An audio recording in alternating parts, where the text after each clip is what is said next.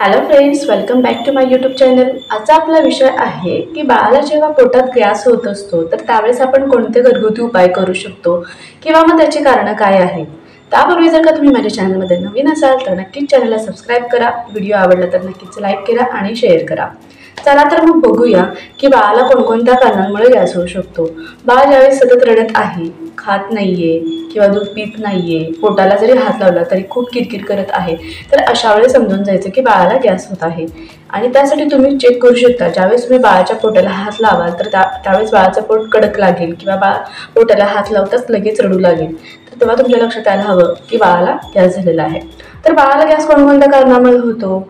तर ज्यावेळेस बाळ सतत रडत असेल तर त्यामुळे तोंड उघडं राहिल्यामुळे तोंडात हवा गेल्यामुळे पोटात गॅस होतो.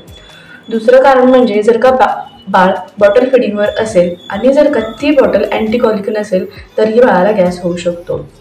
तिसरी गोष्ट म्हणजे ज्यावेळेस बाळ ब्रेस्ट फीड करत असेल आणि प्रॉपर लॅचिंग होत नसेल तर त्यावेळीही हवा पोटात जाऊन बाळाला गॅस होऊ शकतो. चौथं कारण म्हणजे बाळाची आई ज्यावेळेस गॅसेस रिलेटेड असे काही पदार्थ तिच्या खाण्यामध्ये येतात तर त्यावेळेसही बाळाला पोटात गॅस होऊ शकतो. अशी काही विविध कारणं आहेत की ज्यामुळे बाळाला पोटात गॅस होतो. आणि त्याचबरोबर बा बाळाला फिडिंग केल्यानंतर प्रॉपर घेतलं नसल्यामुळे किंवा प्रॉपर आपण जे काही ढेकर काढायला हवा ते न काढल्यामुळे बाळाला पोटात गॅस होतो. तर अशी विविध कारणं आहेत की ज्यामुळे बाळाला पोटात गॅस होऊ शकतो. तर यावर उपाय म्हणून आपण काय करू शकतो? तर त्यासाठी आपण काही घरगुती उपाय करू शकतो. चला तर मग बघूया आपण कोणकोणते घरगुती उपाय आहेत. त्यातला पहिला उपाय असा आहे की आपल्या घरी ओवा आणि हिंग तर असतंच. तर मग आपण ओवा आणि हिंग काय करायचं आहे? कोकोनट ऑइल असेल आपल्याकडे किंवा मग मोहरीचं तेल असेल तर त्याच्यामध्ये थोडासा ओवा आणि थोडंसं हिंग टाकून ते कळवायचं आहे. आणि ते कळवल्यानंतर ते जे तेल आहे ते थंड झाल्यानंतर आपल्या हाताच्या बोटाने बाळाच्या बेबीच्या बाजूला सर्क्युलर मोशनने तुम्ही काय करायचं आहे? लावायचं आहे. व्यवस्थित काळजी घ्या कारण त्याचे जे कण आहेत ते बाळाच्या स्किनला रॅशेस होता कामा नये त्यामुळे व्यवस्थित तुम्ही तेल लावायचं आहे. असं केल्याने बाळाचा पोटातला गॅस कमी होतो.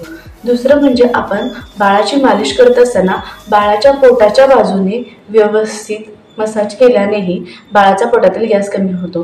त्याचबरोबर मालिश करत असताना पायांची बायसिकल मुवमेंट आपण करायला हवी. ज्याने त्यामुळेही बा बाळाचा पोटातला गॅस रिमूव्ह होतो किंवा कमी होतो. त्याचबरोबर बाळाच्या आईने खाताना ज्यावेळेस आपण जे काही अन्न खातोय तर त्यावेळेस गॅसेस रिलेटेड पदार्थ आपल्या खाण्यात येणार नाहीत याकडेही लक्ष दिलं पाहिजे.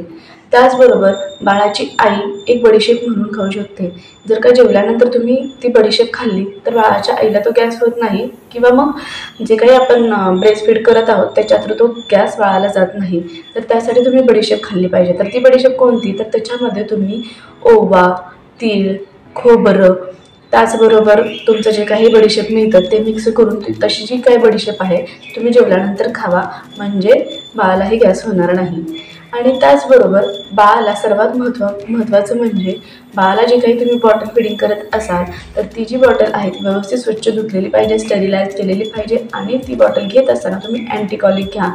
जेणेकरून बाळाला गॅस होणार नाही.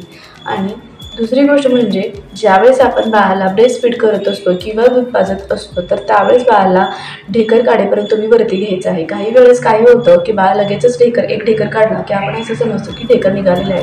पण तसं न करता तुम्ही प्रॉपर पंधरा ते वीस मिनिट बाळाला वरती कडेवर घ्यायचं आहे आणि थोपटायचं आहे त्यासाठी तुम्ही इकडे तिकडे फिरू शकता जेणेकरून बाळाला झोप येईल. असं केल्यानेही बाळाचा पोटामध्ये गॅस होत नाही. तर या टिप्स तुम्ही फॉलो करा आणि यामुळे नक्कीच बाळाला गॅस होणार नाही. किंवा जरी झाला तरी कमी होईल. आणि हे तुम्ही करा. त्यानंतर तुम्हाला काय अनुभव येत आहे तुम्ही मला नक्की कमेंटमध्ये सांगा. आणि व्हिडिओ जर का आवडला तर नक्कीच लाईक करा शेअर करा आणि सबस्क्राईब करा. थँक्यू